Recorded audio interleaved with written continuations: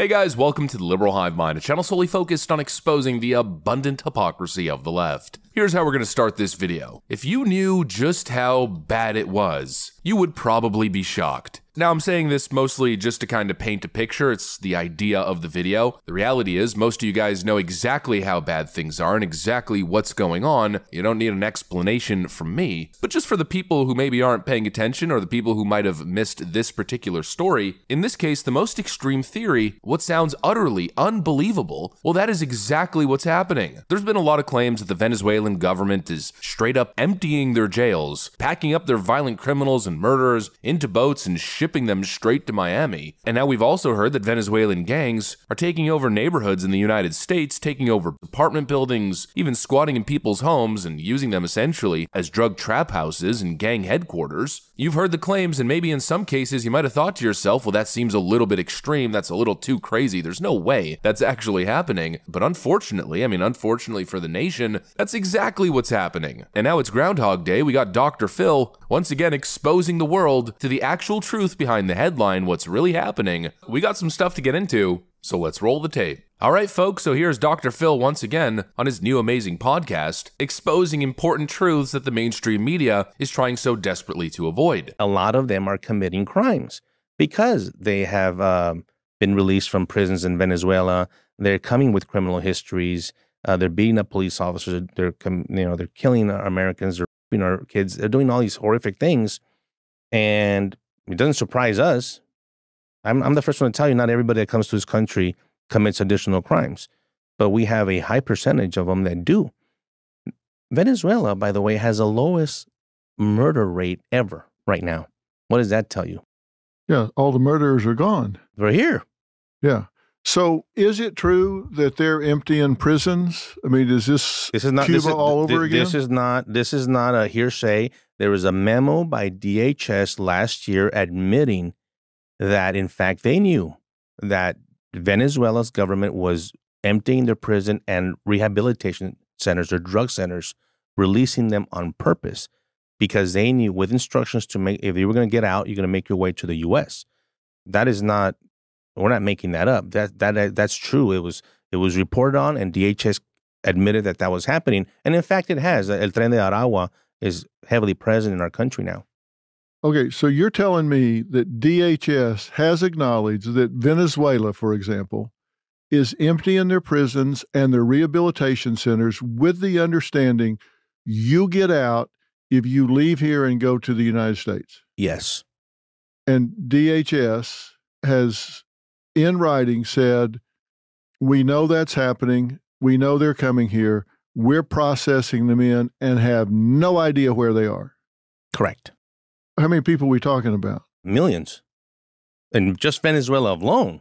We're talking about in the last two or three years, we've had estimated how many people have come across the border. My estimation, the the official number, I think, is about to 10 million. Yeah, it's about But- 10, 10, 11 million. Yeah, my- that's the official. But my personal opinion, I think we're about 15 to 18 million. Okay.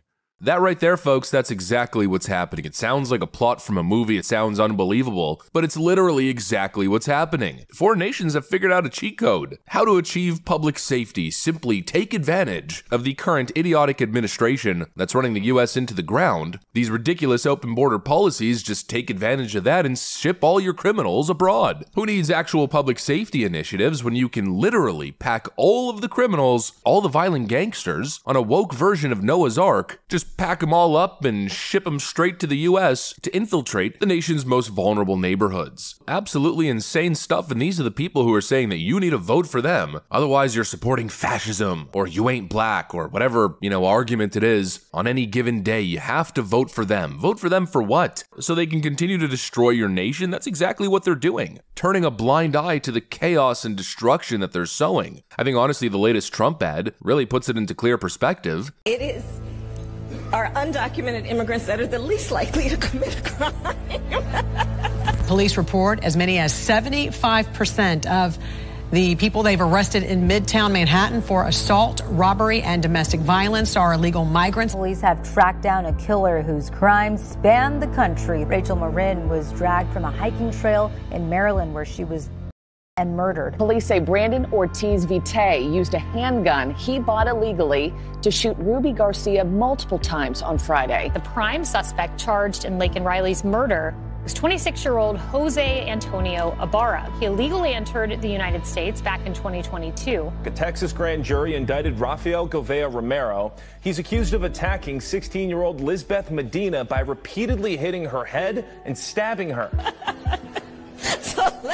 get our notions together about what we're talking about. They're attending their galas, they're boozing and schmoozing it up with fancy people and fancy celebrities, drinking expensive wine and walking around with ornate jewelry worth tens of thousands, in some case hundreds of thousands of dollars, living a merry life while they inflict actual damage and chaos on the people that they're supposed to represent. It's insane. I mean, you would think an issue of this magnitude would be addressed intensely and harshly by those in charge protecting the citizens of their nation, but instead they do nothing. Recently, I mean, look at the data on screen 75% of arrests in Midtown and 60% of arrests in Queens, the majority of violent crime arrests, are now illegal migrants. But meanwhile, the Democrats pretend this issue doesn't even exist. They call you a conspiracy theorist for even suggesting that this is happening. As the story developed in Colorado, the Democrat governor of the state, Jared Polis, essentially dismissed it as fake news, only to then look like a complete liar and a fool a week later when multiple exposés started to drop. Says this is a picture of gang members breaking into a vacant apartment so they could move a Venezuelan family in and then collect rent. According to the law firm's report, the Venezuelan gang Tren de Aragua has threatened to kill and, in certain instances, has apparently actively attempted to kill members of Whispering Pines Management. The report says a consultant for the property management company was severely beaten and stomped by gang members and was hospitalized. And new at 10, it's scenes coming out of a movie as the Venezuelan gang Tren de Aragua are seen breaking into apartment complexes in Aurora, Colorado. This is according to our sister station in Denver. There you can see the group well armed and forcing an apartment door open and making their way in. You got old ladies barricading their doors because they're living in these apartment complexes. Every day when we come home, we have to do this. Every time we go outside to take out the garbage, every time we try to go to bed at night, we have to keep it like this so nobody can kick in the door. People are experiencing legitimate fear, they're in legitimate danger, but Democrats just pretend like it didn't happen until they were forced to admit that it's happening because the truth started to get out. You know, the cat got out of the bag. As per usual, the typical Democrat MO, we only do something once it becomes politically inconvenient. Now we have activist organizations teaming up with Venezuelan gangs, launching this campaign to try to convince the American people as if it's not happening Okay, so I just found out something very interesting about the East Colfax Community Collective, that group that put on the migrant protest yesterday. The one that was trying to change the narrative and say that Tren de Aragua is not overrunning that apartment complex that everyone's at and that everyone's been reporting fake news. Yeah, that organization I found out is funded in large part by the city of Denver and the city of Aurora. Yes, the same city, the same government officials that have been trying to cover up this story and trying to downplay their migrant crisis. I found out that the organization yesterday that wrote out all of those signs in English for the migrants and told them, hey, if you don't want to get evicted, you have to talk about um, not Tren being in the area, but instead the slumlords. Let's talk about that instead. That organization is funded by the city.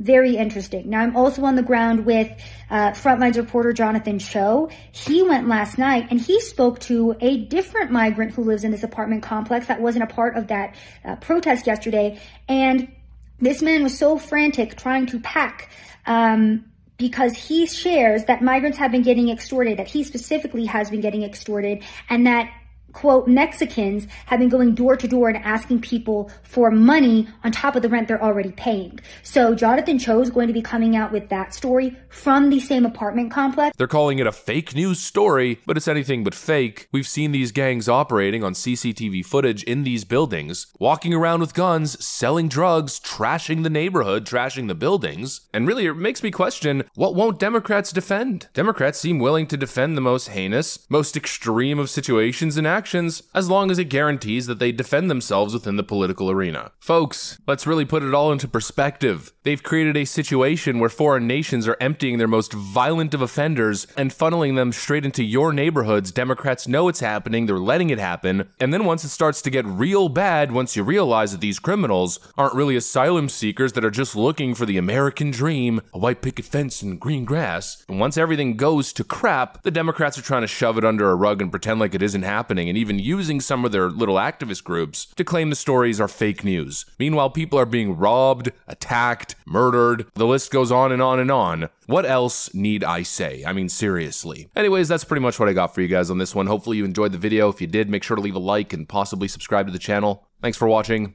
and I'll see you on the next one.